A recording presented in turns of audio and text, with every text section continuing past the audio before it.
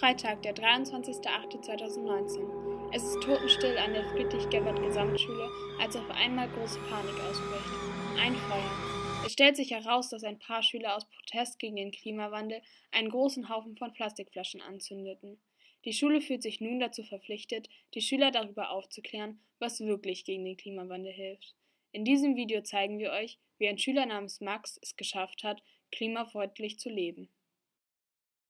Am ersten Tag fing er an, seinen morgendlichen Kaffee vom Bäcker in seinem eigenen Becher zu holen und nicht einen aus Pappe mit Plastikdeckel, den er im Nachhinein sowieso wegschmeißen würde, mitzunehmen.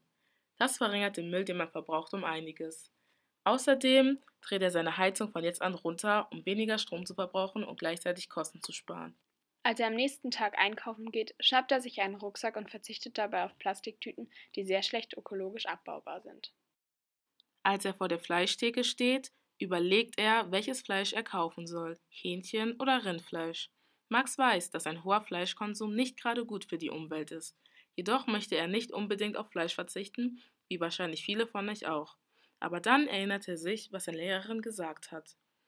Man sollte weniger Rindfleisch essen, da Kühe sehr viel Methan produzieren, was sehr schlecht für die Umwelt ist. Also entscheidet er sich dafür, Hähnchenfleisch zu kaufen, da diese weniger Methan produzieren. Am nächsten Tag regnet es sehr doll und Max Vater bietet ihm an, ihn mit dem Auto zur Schule zu fahren. Max lehnt jedoch ab.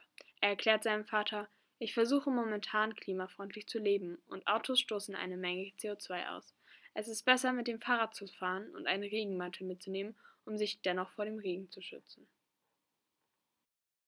Max Vater nickt und findet es super, dass Max sich dafür einsetzt. Jeder sollte etwas gegen den Klimawandel tun.